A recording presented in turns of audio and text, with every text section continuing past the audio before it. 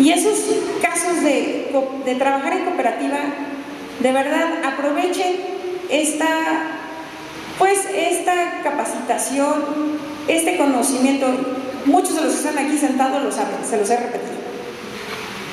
Podemos salir y entregar muchas herramientas, muchos insumos para el campo, pero algo que no tiene precio es conocimiento. Entonces, si a través del gobierno del Estado se nos está brindando esta capacitación, estas asesorías, aprovechenlas. Aquí tengo otro caso eh, donde está Sotero, con sus productos de miel. Sotero, por iniciativa propia, se empezó a acercar, busca apoyos también con gobierno del Estado, ya tiene su marca de miel. Empezó también hace cuatro años, era productor de miel, hoy tiene cremas, jamón, eh, eh, jabón, bálsamos, muy buena su marca, se los recomiendo. Y ese es el ejemplo de cómo podemos hacer muchas cosas. Aquí tengo unas amigas de Nepopalco que producen hongos, veo unos productores de aguacate que andan por acá y que también se han ido sumando.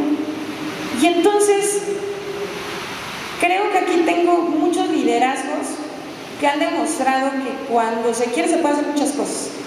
Y que también les agradezco la confianza que han tenido porque pues por allá del 2018 se decía, hay que entrar a la capacitación, hay que entrar al conocimiento. Y algunos me hacían cara como de, tan loca.